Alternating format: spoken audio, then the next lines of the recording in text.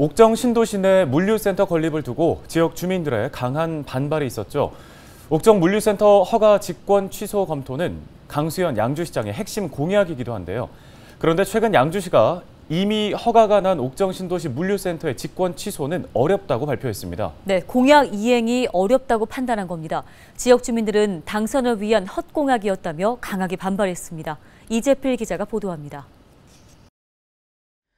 양주시는 지난 23일 옥정 물류센터 백지와 관련 주민 설명회를 열었습니다.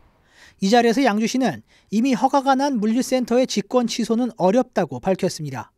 양주시가 이미 건축 허가를 낸 마당에 이를 뒤집는 직권 취소 결정을 내릴 경우 손해배상 등 법적 책임을 질 가능성이 크다고 판단한 겁니다.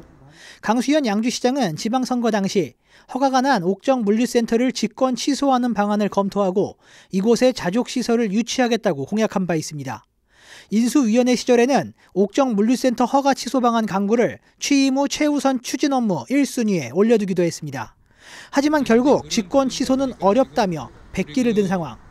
양주시 관계자는 현실적으로 도로 추가 건설과 주민 편의시설 건설 등 지역에 도움이 되는 방안에 대해 사업자와 논의해야 한다며 주민들도 가능성 없는 직권 취소에만 매달리지 말고 사업자와의 협상 테이블에 적극 나서야 한다고 강조했습니다. 하지만 주민들은 물류센터 허가 취소 외에는 바라는 바가 없다며 선을 그었습니다. 특히 직권 취소를 공약해놓고 이를 지키지 못한 강수현 시장에게 강한 배신감을 느낀다고 강조했습니다.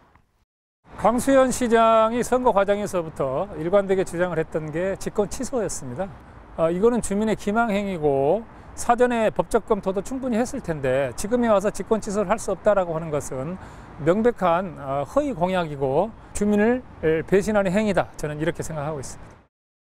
주민들은 촛불 집회 등 물류센터 직권 취소 불발에 항의하며 양주시를 상대로 집단 행동을 이어간다는 방침입니다. 헬로티비 뉴스 이재필입니다.